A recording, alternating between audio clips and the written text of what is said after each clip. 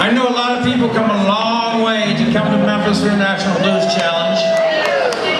And I know that you all go to a lot of great expense to come here. And I know that these days travel is not quite the jet setting that it used to be in the 60s or whatever.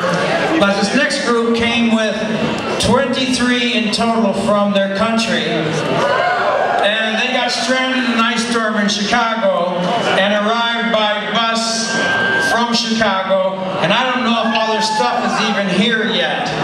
But I want to say a warm Dobrodošli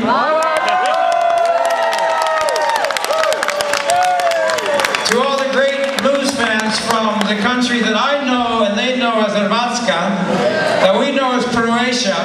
And so without further ado, please welcome the Delta Blues Gang.